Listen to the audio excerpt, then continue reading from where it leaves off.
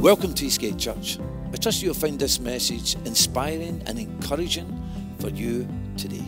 So I'm going to be sharing from um, uh, Jonah. It's one of those little books up there. It's one of the minor prophets, as we call them. It's anything but minor as the book of Jonah. It's a very interesting book, and I just felt to go there. I've probably been there somewhere in the past. And if I can find the book, it's that small, it's lost in the pages there, but it's after Obadiah and, um, and before Micah. And I'm just going to probably just open that up to us this morning. Father, I just thank you, Father, for your word to us today. I thank you for your goodness and your kindness, Father. Uh, I thank you, Lord, that Father, that you are faithful, Lord. And Lord, you desire to speak to us. I pray, give us ears to hear and give me a mouth to speak. And Father, Lord, may we be uh, blessed and built up today, Lord. May something be said today, Lord, that's going to, yes, it's going to, Lord, maybe just jag us a little bit, Lord. It's going to maybe make us uncomfortable, but it will bless us as well, Lord. For your word is a sharp, double edged sword. Let it be so today, I pray, Father. And let it, Lord God, Father, touch our hearts. Amen and amen. Praise the Lord. So, if I was saying it probably it's a kind of prophetic voice, I always put this suit, suit on sometimes, and it means so much to me, probably means nothing to you. And um, it's a three piece suit, and there was, there was one time when I, I just bought this, and anyway, I won't bore you with the details, but anyway, sometimes when I put it on, and so when you think that, I, I, I put it on just for that moment, and I trust we'll hear the voice of the Lord today. Glory to God. I better not say too much. I'm going to shoot myself in the foot here, aren't I? You know, putting too much pressure on myself. That's I'm crashing already. Amos 3 and 7 says this Surely the Lord does nothing without revealing his secret plans to his servants, the prophets. We know that one. God does nothing. God will always speak prophetically. God will speak, and God desires to speak. And says God will do nothing without, first of all, revealing it to his prophets. For God uses his prophets as in the Old Testament and in the New Testament. You know, God will speak through people. Yes, I know God can speak through a donkey. That encourages me greatly, I might add. And through foolish and stupid items of life. He can speak from a burning bush and, and, and, you know, an unseen voice, but we know there's an angel in that burning bush. So God can speak to us anyway, but generally God will choose to speak through his word and through his ministers. Glory to God. Therefore, that's why the Bible says we should encourage them and pray for them. 1 Thessalonians 5 19 to 21 says this Do not quench the, fat, the spirit and do not despise prophecies, but test everything and hold fast to what is good. Meaning, we don't just accept everything that's coming from the mouth of anyone, however eloquent or ill eloquent they might be. We have to test it and make sure it lines up with this word. If it doesn't line up with this word, you put it straight in the paper basket, amen, where it should belong, but it has to have that that vibrantness of the Spirit of God upon it. I like one of the versions says, Do not put out the Spirit's fire. There's something about that, isn't it? You know, and it can be the case. And sometimes we can just, you know, we can be ignorant to the Word of God, and we just take, we don't pay enough attention to it, and we should really pay attention to it. So what I've got down here is this, so we do, we don't despise prophecy. So what is the Lord saying today by his spirit? And that's I mean, that's you think that's an easy one, but it's a difficult one, isn't it? Because there's many people speaking a lot of things in many different voices today. Many people are claiming to be prophets today, not just prophets, super prophets, you know, so you know, and super apostles that are appearing today. And many claiming that their prophecies are, thus says the Lord. I always try not to say that if I'm bringing a word. I'd like to always say, I feel the Lord is saying. It's quite a big claim to say, thus saith the Lord and you bring one of these, you know, wonderful words, and um, and it could be a "Thus saith the Lord" moment, but it is, it is, you know, it's, it's a big saying, isn't it? When you feel fallible, because we live, we are fallible in the flesh. There's nobody infallible. There was only one who was infallible, and he's in heaven, the Son of the living God who came, and he was the infallible one, sinless one. And every word that came from his mouth, you could trust it, you could, you could bank on that word. Hallelujah. Truly, truly, I tell you. And you hear that in the scriptures, we can put our, we can put our faith in God alone. Hallelujah, glory to God. But anyone else? Well, there are always going to be degrees of um, indifference, and we just have to thank God that God will raise up a lot more people. So, just before I even start with Jonah, there's a little background. There was an awful lot of things taking place in Jonah's day. There was empires, there was wars, there was fighting. Israel was fighting in a couple of fronts. They were being attacked, and then you know they were down, they were being defeated, and then there was victories for them as well. There's nothing new under the sun today. We can see this as well. We can start to see there's wars all over the place. There's different empires. You've got the American Empire that took on the mantle from the British Empire, but we can look back in life. And there's always been wars. There's always been trouble. There's always been somebody wants to be the big boy across the world and control the world. I want to tell you this America is like an octopus. It's got massive influence all over the world. Some people believe that's coming to an end. I, I technically believe that will be coming to an end. There is a new empire that's going to arise. It's going to be the last great empire, which is probably going to be a globalized empire. And um, that's going to be rising up where the beast or the Antichrist will take his rulership and he will take ownership of the world. But listen, it's not all going to be in his free hands. The Lord is never going to be disappearing. But the Lord is the one who is controlling all things, and He can only do that which God has allowed Him to do. He has to get permission from the Lord. Amen. Let us not give Satan any more power than what he has. He is under the power of the living God. He always was, He always will be. Hallelujah. God is the God of this world. Let's not kid ourselves on. And let's not believe a lie. God is in total control, although sometimes you think, God, have you lost control? Why, why is all this happening? Why this? Why this? Why this? As it just me ask the questions. And it's difficult to understand God moving sometimes when all hell seems to be breaking loose, not only in your own life, but across the world. And see, all of this was going on in Jonah's day. And, um, and Jonah, um, God sends him on a mission, and we're going to read a little bit about that as well. But before even Jonah is sent to go and to, to, to bring a word to Nineveh, which was the capital of the Assyrian Empire, but God had already sent Amos and Hosea to the people of Israel to bring the word of God to them. You are wicked and you're evil. You are my people. You're living a life that is a disgrace to me. And unless you get your act together, I'm going to be judging you. Do you know, God is the, the great God who judges nations. There will, be a, there will be a season and a time for all of that. But not only does he speak to Israel, but he speaks to foreign powers today. Hallelujah. And he's still speaking. I trust these foreign powers would actually hear the voice of the Lord. So just a couple of verses to open us up, and then we're going to hopefully work through this whole word in time for our tea and coffee. But I know, I know you're saying like, no, just let's forget the tea and coffee. Go to the max. Keep speaking. Hallelujah. Praise the Lord. But it says, The word of the Lord came to um, Jonah Arise, go to Nineveh, the great city, and cry out against it, for their wickedness has come up before me. But Jonah arose to flee to Tarshish from the presence of the Lord. He went down to Joppa and he found a ship going to Tarshish. And so he paid the fare and went down into it to go with them to Tarshish from the presence of the Lord. So what we're seeing here, um, straight away, there's the man, the God's servant, and instead of going east, he goes west and says, I ain't going there, I'm going that way. God says, Go there and speak and speak the word of God to them. And Jonah says, No, I won't. I'm going that way because Jonah had a problem. But we'll find that as we move through there as well. But what I've first of all seen here and picked up, it says that wickedness has come up before me. God says, The wickedness of this great city has now come up before me. Remember when we read the scriptures in Sodom and Gomorrah, and it says in the three, uh, whatever you who wanted to discover who the three might be, was it the Lord Jesus Christ and, and, and two angels, or who, who knows who it was? But see, angelic beings anyway, heavenly beings. And it says, Now the, the, the sin of this, these cities have come up before me, and I've come down now to see what's going on. Can I say to encourage all of us, there's nothing, the wickedness of this world goes up before God. God is very aware of what's taking place. And I'll get to a pitch one time when God says, It's time for me to judge, it's time for me to come. I'm going to intervene. And that will be in the last great day, this world's sin is building up and building up and building up to such a point, God says that enough is enough. That's it, it's finished. I'm coming. Just like Sodom and Gomorrah is a great picture of what's going to happen in the latter days when God's going to say, Enough, that's it. I've had enough of the world's sin, and God's going to come and God's going to deal with it. Hallelujah. And that's the great day that you and I and all those who love the Lord Jesus Christ is longing for. Glory to God. I always say this God has got a threshold, or we could say a red line. Step over it at your peril.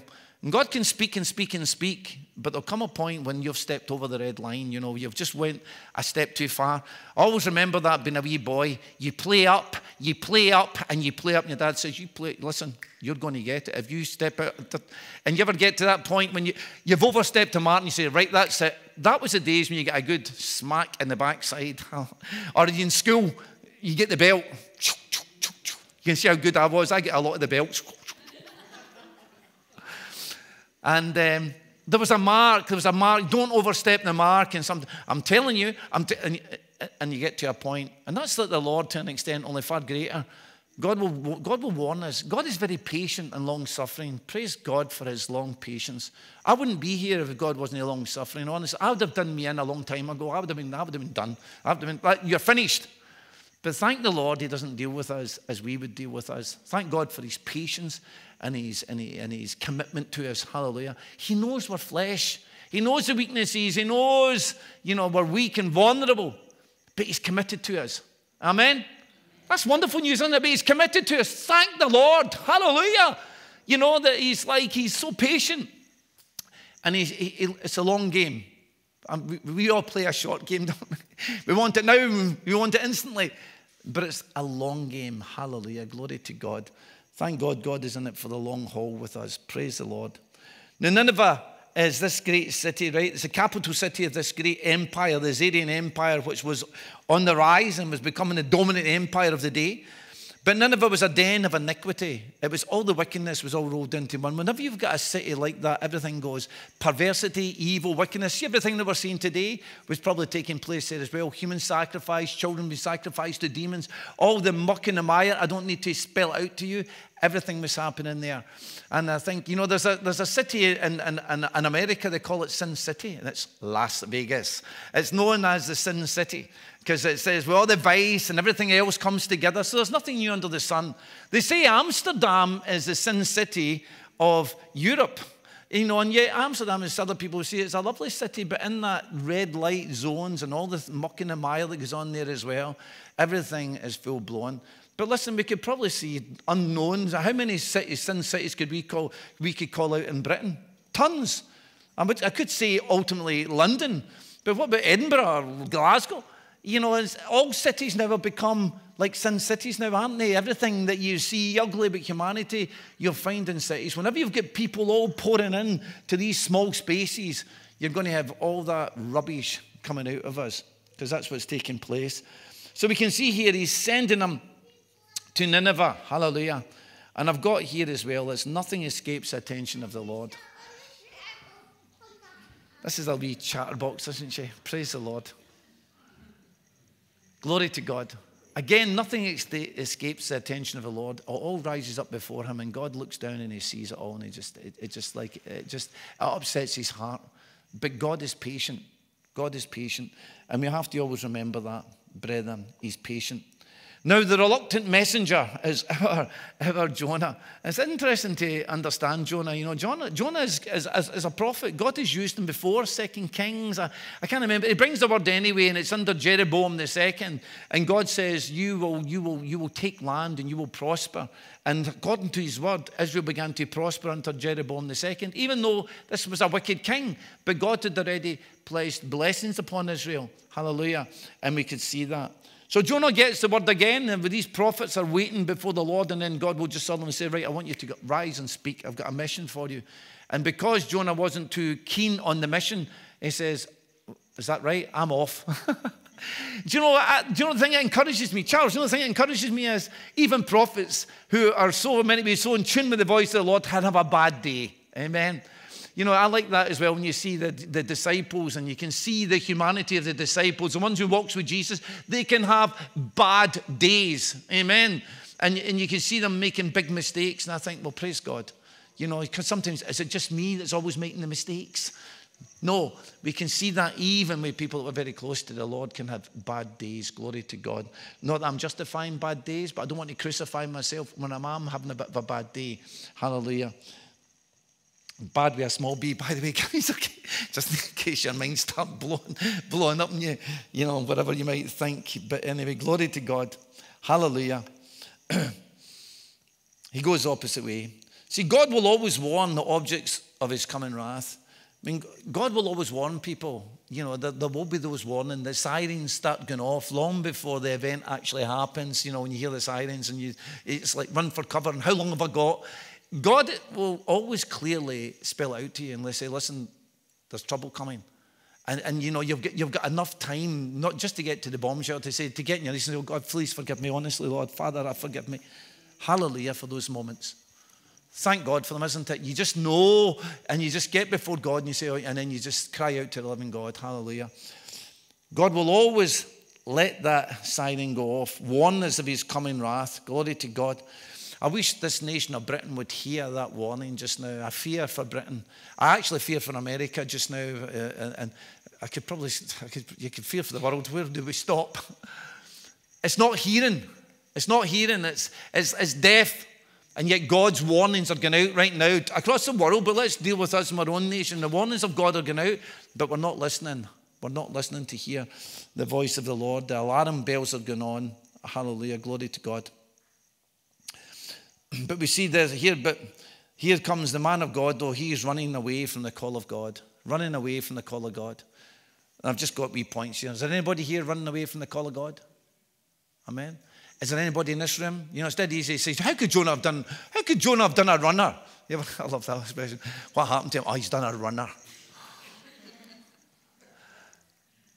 But how many times maybe we've done a runner, maybe God has spoken to us, and, but we've done a runner because we didn't quite like what He was asking us to do? Listen, yeah, I've got two hands up here. I'm just talking about my life uh, in general, you know. I'm, maybe from small things. This isn't like big things like go to Nineveh, Arthur. I'm, I'm sending you to Rome. I'm just talking about small things, though. You hear the voice of God, but we do a runner, and we don't, I don't quite fancy doing that. Maybe God's asked you to do something, maybe send you on a wee mission. Might just be go to speak to Joe Soap just up the road, or, or to address maybe a situation. But that's, that's your job, Pastor. Ah, you, you should be running about all over the place like, you know, Superman here. Listen, God can use any of us and all of us if we're open to receive that, you know, that God can give us a call and call to us and ask us, send us on a mission. And sometimes we can go the opposite way. It's great when you read the stories and it all, you say, how could this man, you know, do that? But God is not going to be, um, be undone. He sends a storm, we know, on the sea. And I'm just going to be paraphrasing. You just need to read the book of Jonah. And Jonah, but the storm comes onto the scene now. So he jumps aboard the boat. And when he's out there in the high seas, you're at the mercy of God and you're in the high seas. I would be dead, by the way, in the high seas. I, I, don't do boats. I don't do the waves very good, you know. So, you know, he was fast asleep down below. I'd be, I'd be like half dead down below. And, and, and so while the storm's taking place, what does Jonah do? Jonah goes down into the bottom of the boat and he's fast asleep like a baby. All hell's breaking loose. The boat is getting turned, turned upside down. Uh, it's in danger now of, of sinking and their all lives are lost. And Jonah is sound asleep in the midst of a storm. I suppose that could maybe be a wee picture maybe of the church today, you know, in the midst of a storm. And I believe there's a massive storm taking place all over the world. But listen, our own nation, and maybe we're all kind of, we're, we're asleep. We're sleeping when we should be wide awake. Hallelujah. We need to be wakened up and to see, listen, there's, there's, there's a storm, there's a, we're in the midst of a storm. And we need to be awake, whereas the church, and, um, and I'm talking about on the whole, is maybe fast asleep. But God sends a storm. Hallelujah and to waken them up. Interestingly enough, isn't it? It's the captain who's a pagan captain and his crew that wake up the prophet. That's, that's, amazing. That's Spirit of God. It's a captain, a pagan captain of a ship wakes him up. Hey, man, wake up for people's sake. We're all going to die here. Wake up, call upon your God. we are exhausted. We've been calling upon all the gods. We've run out of gods to call upon, and the storm's getting worse. You rise up and you call to your God. And Jonah gets a rude awakening, isn't it? I think that's probably what the church needs today is we need a rude awakening. And then Jonah stands up and, he, and then Jonah owns up and then he says, now, he says, right, okay, who's responsible? I like it in those days, you know. Who's responsible? There's and then and then they cast straws. So they cast a lot. You know, you do you remember those days when you had a decision to make and you did you did one wee short straw and then there are longer ones and, and you're off picking the straw? How many times did you get the short straw? It's your fault. or something had to be done, get left with the short straw. And so they just left that right, and it says, right, okay, what's the problem? What's happening? What's going on? And Jonah had already told them that he was running away from the Lord. Now, I want to tell you this it's a dangerous thing to run away from God. You might think, oh, everything's fine. I want to tell you this. I'll tell you this. No, it's a bad thing because that storm will brew up in your life. And we see here, and, and, and then they're, they're, really fearful now. And, you know, what are we going to do? They've got a problem. Jonah then is taking responsibility. He takes responsibility for the situation, for the, for the storm, because he knows it's God. You know, when a storm brews in your life, you know, God's got a wonderful way of catching your attention. You ever, you ever, you ever everything's going on in your life and all of a sudden all hell breaks loose? I, I can go back to quite a few places in my life, and sometimes things happen. Other times you just think, God's got my attention. You know, everything's great, but I'll tell you this, see, when everything starts going upside down, all of the rest of it, like, all of a sudden now, it's God, you've got my attention.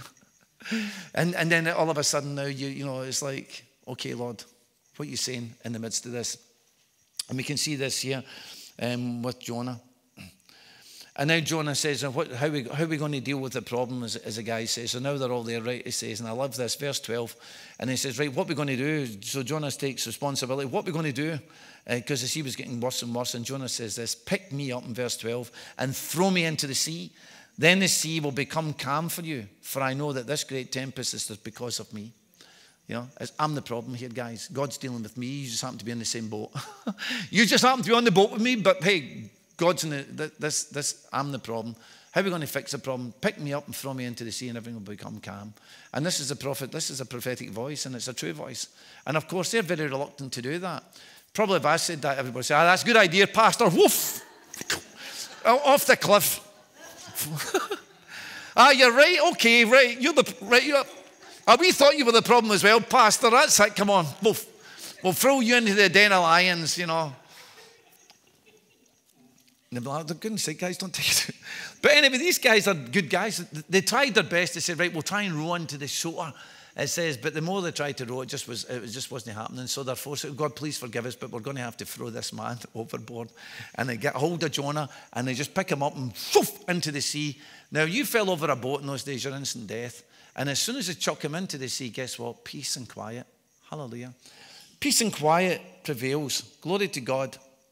A great miracle happens, and they all begin to get on their knees and they all begin to praise God, the, the God of heaven. Now, whether, were they saved on that boat? There was a very good chance. I'll tell you this. I mean, you imagine that the, the miracle of what took place here. The boat's upside down. And all of a sudden, everything goes quiet. They says they started offering up sacrifices to praise. Oh, thank you, God. Thank you, God. And they start praising the God of heaven.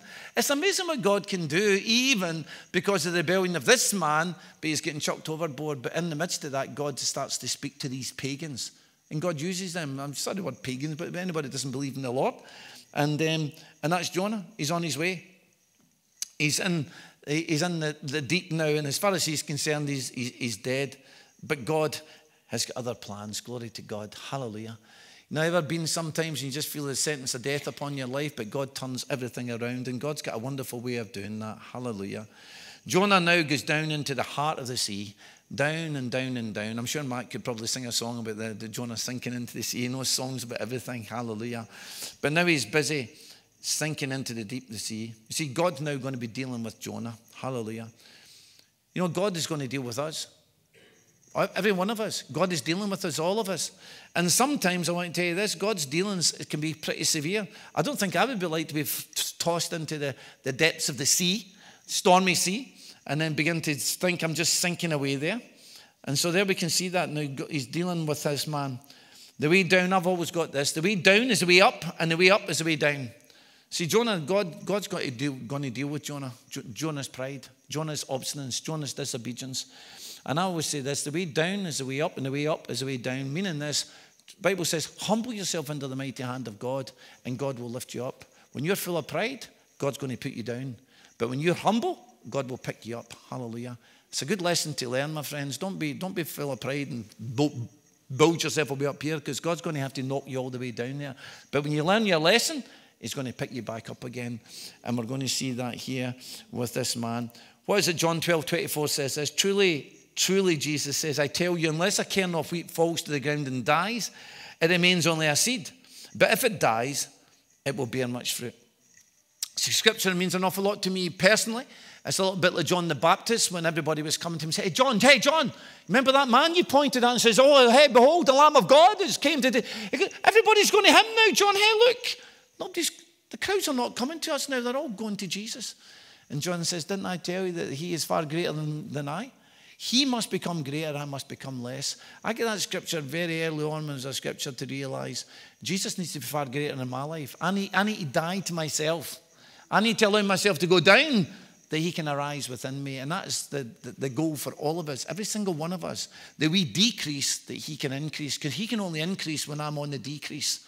Hallelujah. And the biggest problem is with the church today, the church is probably full of itself and full of its own increase, that the Lord is being subject, uh, being subjugated down. Hallelujah.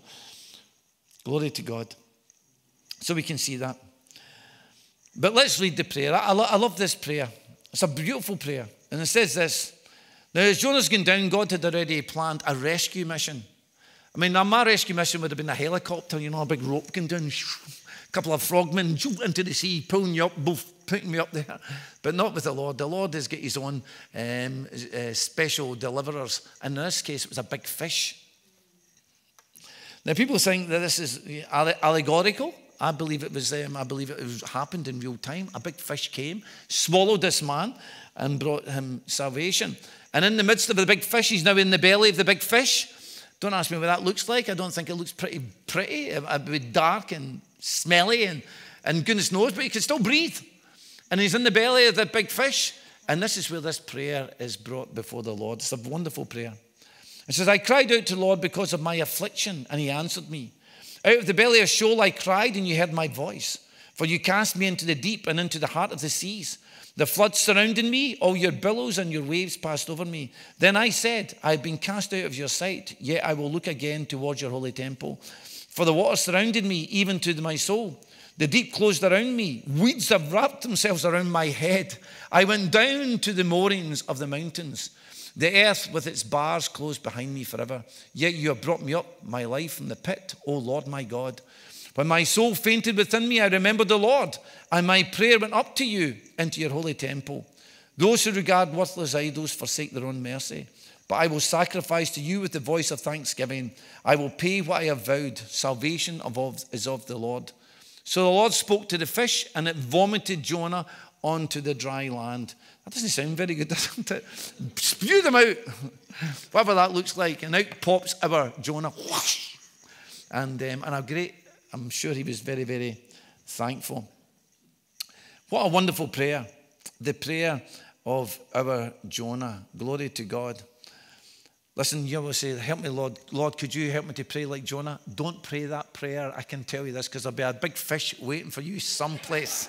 You might just think you're in the Sunshine Island just going out for a wee swim, and before you know it, next minute you're going to find yourself in the belly of a big fish. Or it might be up beside the Loch Ness, and who knows, a big monster there will swallow you if you believe in the Loch Ness monster, and you could be taken captive for a couple of days. But I'll tell you this your prayer, you'll come out with a fantastic prayer, and I want to hear that prayer. Uh, it was a wee bit like Glynis's prayer on Friday night. It was like, whoa, what did that? It was a powerful prayer. Glynis just offered up this prayer on Friday night. I think I likened it. I says it was like a bottle of water. You get a good shake or a bottle of juice, and then you open up the cork. Well, like, whoa, what a prayer, Glynis. It was wonderful. Hallelujah.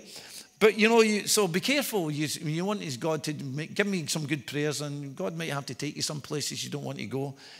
Hallelujah. Because that's when you'll get those great prayers. Hallelujah. But isn't it true, though? Isn't it true when you're going through a terrible, terrible time, your whole prayer life changes? Is it just me?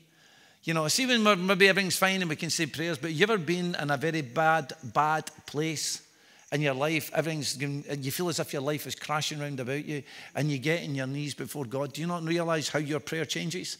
all of a sudden there's a whole new intensity, there's a whole new vibrancy. And it's like, it's like, you're praying as if my life depended on it. I've been there a couple of times in my life, at terrible times. I mean, terrible times. And I want you to tell you this, I, I just, I, just, I just know my prayer life back then was totally, you know, in, in the midst of it, when your back's against the wall, when, you, when you're just feeling like crushed beyond anything, see when you can just cry out to the Lord in prayer, wow, Hallelujah. And thank God for those moments in my life. I won't want to get back to them, but hallelujah, if something else comes up, but glory to God. Sometimes in a negative, something positive can come out of it. You know, and you always think that, why, why am I going through all this hell? Why is all this happening? Why? And God says, just be patient. I'm working, son. I mean, you know God's working, you can bear up under it and just say, I don't know, what, I don't know why it's happening. Or maybe sometimes I do know what is happening I've made a big mistake. Other times it just came out of thin air, blue air, whatever. And God says, But I'm working in your life. And see those moments when you can just open up your heart. I don't know, just like there's a whole new realm that we can enter into. And you just know that your prayers are touching heaven. Glory to God. Sustaining me. And that's when you get to a low place like this man here as well. Isn't it amazing that Lord Jesus Christ quotes Jonah? Because this is a picture of the Lord Jesus Christ, probably in the bowels of the earth. We won't know what that looked like when Jesus died and gave up, and gave up the ghost, if you like. And many people will say many things. You know, what, where, where did Jesus, what happened in those three days? But here's the picture of Jesus went down into the bowels of the earth. Hallelujah. But he came back up victoriously. And Jesus says this in Matthew 16 and 4. It says, An evil and adulterous generation seeks for a sign, but no sign will be given to it except the sign of Jonah. And he also departed from him. Did Jonah know when he was in the belly of the fish that Jesus was going to actually quote him? Hallelujah. That this experience that Jesus was actually going to bring this to the Pharisees. Hey, the only sign you're going to get, give us some great glorious sign like fire from heaven, whatever. And Jesus says, the only sign I'm giving to you is the sign of Jonah. As Jonah was three days and three nights in the belly of a fish, so the Son of Man will also be three days and three nights in the belly of the earth. Hallelujah. Glory to God. Let's not despise sometimes when bad things happen to us. All things work together for good for those who've trusted the Lord. And that's not my notes. I just found that coming out of that just now there as well. And when you know that, I want you to tell you this, it will sustain us and it will keep us in the midst of that suffering sometimes that we're going through. We don't like suffering, but actually suffering is part of living our life for the Lord Jesus Christ. We've had too much with wealth, health, and prosperity, brethren. Paul says that I might share in his sufferings. I to want to go through Paul's sufferings, beaten, battered, and bruised, and whipped and lashed, in jail, and, and you know, cast out in the sea for over a day and a night and, you know, stoned. I mean, who would want Paul's life? I'd love to be caught up in the third heaven if that was Paul that was up there. I knew a man that was caught into the third heaven. But I'll tell you this what he had to suffer and endure that created the man Paul, that changed him from a Saul, was immense. Hallelujah. And God's got his own way for meeting all of us. How are we doing for time? Not too bad. Got another couple of points said you'll be glad to know. Hallelujah, it's not them. So now Jonah now obeys. I think you learn, you ever learn your lesson? I remember a few times my dad dealing with me, you know, right, okay, dad, I've learnt my lesson. you know, that's, that's it. And, um, and sometimes we need a bit of discipline to learn your lesson. Because we're foolish and that see when you get away with murder, you keep getting away with murder, you'll continue just getting away with it, you know, when you're young. And then sometimes it's like, that's it, I've learned my lesson. And, and you become much more obedient. Now we see now the Jonah now has become obedient, and it says he takes off to Nineveh. How close did the fish spit him out? Well, was, there wasn't any natural water quite close to them unless it came up a river. so it says, but he had to then hightail it over there, and now he's going to fulfill the commission that God has said to him. He enters Nineveh and he brings the prophetic word of the Lord. Hallelujah. And what a word. 40 days from now, and Nineveh is going to be overthrown and destroyed. God's going to destroy you. And it's a massive city, so he walks around here 40 days, and God's going to destroy this place because of your wickedness. Now, did he add to that? I'm sure there was. And his job then was to walk around the city 40 days, and God, the God of heaven, is going to destroy Nineveh because you're wicked and evil and you're corrupt, and your wickedness has come up to heaven, and God can stand it no more. 40 days, and you're going to be destroyed. Hallelujah. And there he was on his, on his mission. One of it, one of those big bells, you know, ding, ding, ding, ding. But guess what? He walked around the whole city and everybody would have heard his voice, everybody. And guess what? They, they, they believed it. So God's fame even had, was known in Nineveh, although they worshipped all other gods, but they knew the God of Israel. And they knew that this man was a prophet. And they knew then that what he probably said was God had touched their hearts with it and they went, God's going to destroy us. Hallelujah. And word came to the king. And guess what? They believed the word of the Lord and they all began to cry out to God. And he says, Right, okay, I'm going to proclaim a fast. And see, when the king proclaims a fast, that's it, you're all fasting, or else it's off your head. And so for three days, or for a couple of days anyway, they fasted, no water, no food. Even the animals had to fast. Now that's severe, isn't it? Try telling that to your cat or your dog. You're not eating. And they're all put on sackcloth. It says, even put sackcloth onto the animals. Now they took it seriously. And this is what they said. And the, the people said this this was the king when he got this. They believed the Lord. I want to tell you this. I wish our nation would hear the voice of God and believe the Lord. Amen. I wish, I wish they would hear the voice of God and believe that, that who, who we're dealing with. And the king, and they said this, the decree of the king says, Listen, neither man nor beast, herd or flock taste anything. Do not let them eat or drink water, but let man and beast be covered with sackcloth and crying mightily to God, Yes, let every one turn from his evil ways and from the violence that is in his hands. Who can tell if man will turn and relent? Who, who can tell if God will turn and relent and turn away from his fierce anger so that they may not perish? And verse 10 says this Then God saw their works and they turned from their evil ways. And God relented from the disaster that he said he would bring upon them. And he did not do what he intended. Some of your Bibles might say repented, which basically means relented.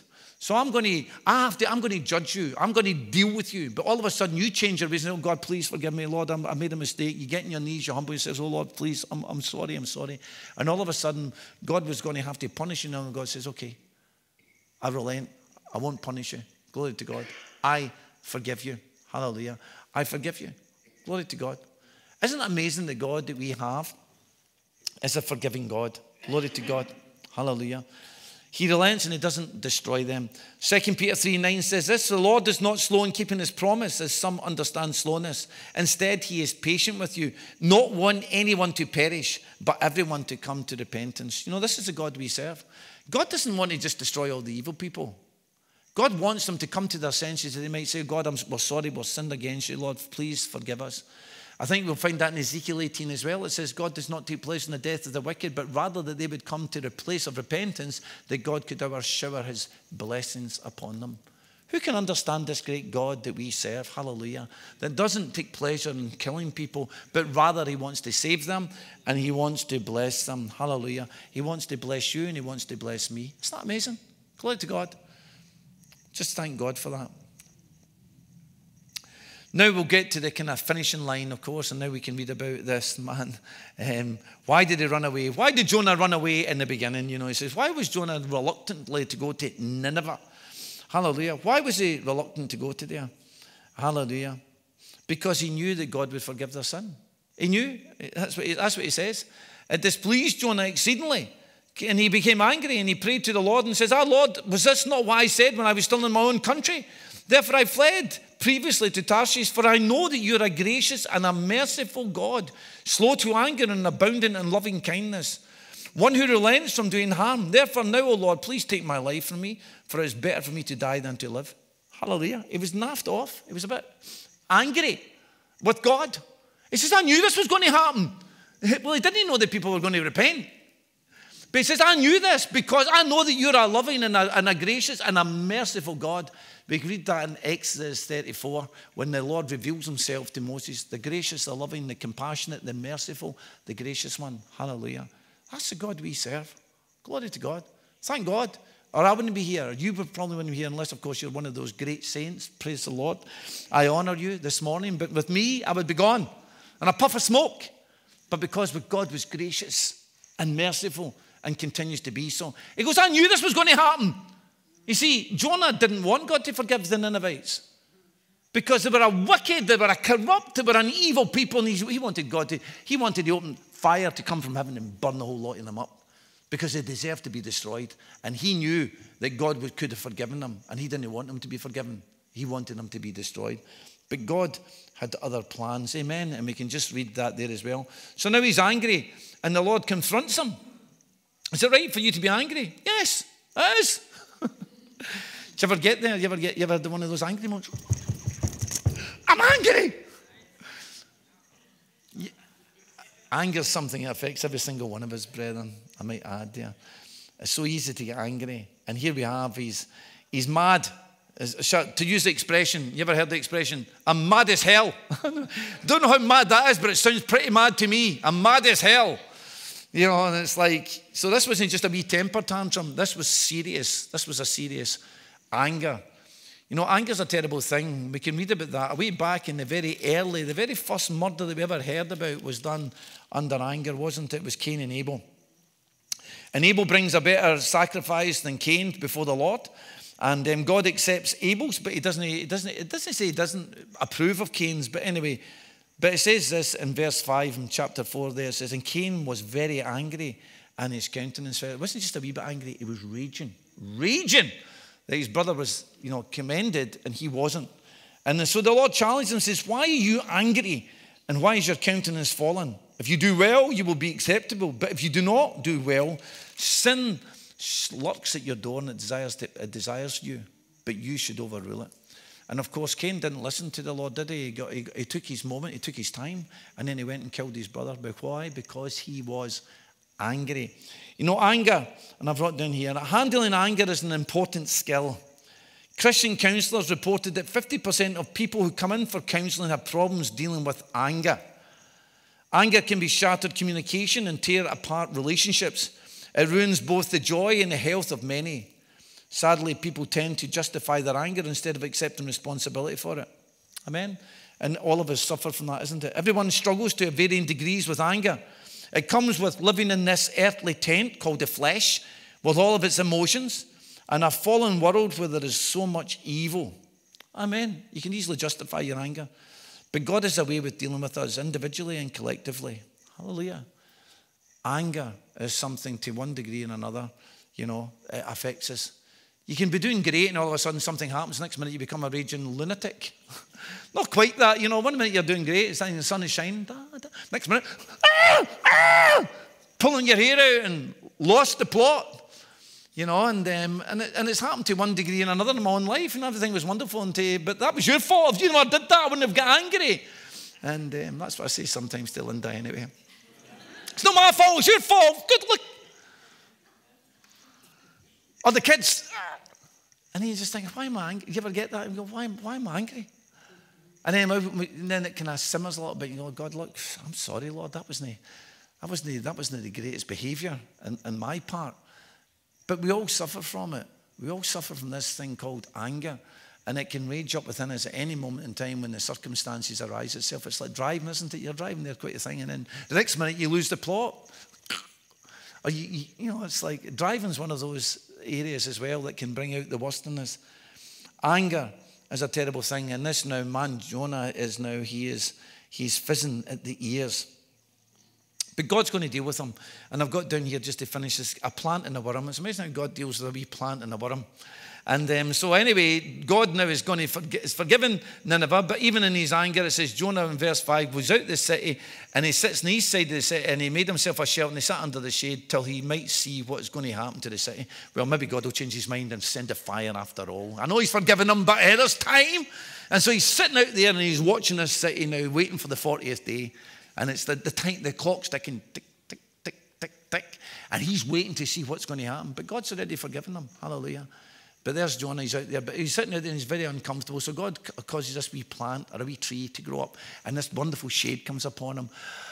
Oh, you ever been in the hot sunshine? You get into some shade, you're desperate for some shade. And there he is, he's nice and he's comfortable, and then God makes this wee worm. And a wee worm grows out of nowhere and goes into the plant and it, and it eats the plant. And the plant dies, and all of a sudden the sun's beating down on him, and he's so uncomfortable. And now he's angry, and, and, and, and he's, I love this verse here.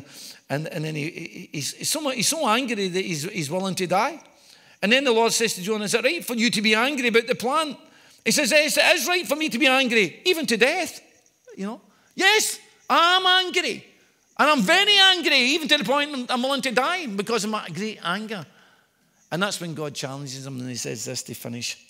But the Lord says, You have pity on a plant which you have not even laboured nor made it grow. Well, it came out at night and it perished in the night. Should I not have pity upon Nineveh, that great city in which there are more than 120,000 people who cannot discern between their right hand and their left hand, and all the livestock in there? Should I not be concerned then? You're, you're concerned about this wee plant that you was getting some comfort, even though you know, you know it was me that grew the plant and it's me taken away. He says, How much more then should I be anxious about those 120,000 people? They don't know their left hand from their right hand. Do you know, we live in a world just now. See the people out there, they don't know their left hand from their right hand. They're, they're just awash. They, they're, they're blind. They, they, they don't know they're doing wrong. They're, they're lost. And God is concerned for them. God is concerned for the people out there that don't know Him. God doesn't want to destroy them. God wants to bring them to a place of salvation. God wants to bring them to a place where He can rescue them and says, Right, come, here I am and, and draw them into Himself. And I want to finish with that there this morning. And how we can see people. You know, how do you see them? How do I see them? And, you know, we, have all got different degrees. I, am okay with that bunch, but see that bunch over there? I don't like them. I, I hate them. And they deserve to die. And we can look at the worst case scenarios of sin. And I want to tell you this this place was a hotbed of sin. It was filth. It was, it was a wicked, wicked city. And I'll tell you, this, there's a lot of wicked places around us just now. But you know something? God would rather that they would turn to Him, that God can forgive them. The blood of Jesus is still powerful today, brothers and sisters. And God wants to forgive people. God doesn't want to destroy people. He wants to forgive them. He wants to set them free. He wants to embrace them and bring them into his family in the, in the eternity of the eternity. Hallelujah. And I think we need a wee reminder this morning in the life of Jonah. And I said, I would, I would say to you, please go home and, you know, and, um, and read of that little story and to see again how God sees and how I see. See, sometimes we can read through our what, tinted glasses. And um, I was going to pick up these. I had wee on with me. Papa, can I put, try these glasses on? then he was grabbing other pairs. He was going all over the place. It's how do we see and how does God see? See, it's dead easy for us to look at them and say, oh, well, you know, they're, they're lost. To hell with them. Or do we see them how God sees them and says, God, but God's heart's breaking for them. Hallelujah. You know, if I was going to say that, I was, I was on my way to hell as well, friends. I was, I was living in that mucky world out there and I was caught up in it. But thank God that His grace and His mercy was given to me. What about, they, what about those who do not know Him? Hallelujah. Do you know where they're going? They're going to a lost eternity. That's what my Bible says. I know what your Bible says. Hallelujah. And we need to see them and, and maybe be filled with compassion on them. I mean, hear the Lord speaking. It might not go and speak to a city, but it might just be a wee man sitting at the side of the road, or it might be somebody there, or it could be somebody we're passing. And again, we just have to, me, to me, it just rolls off my tongue. Whenever I can get an opportunity, uh, you know, well, you're the pastor, you should be telling people anyway. hey, listen, we're all servants of God. And we, we all should be taking an opportunity to just stop somebody in their way. Now, whether I'm saying this prophetically or not, we'll say it anyway. Do you know, last night the clocks went back.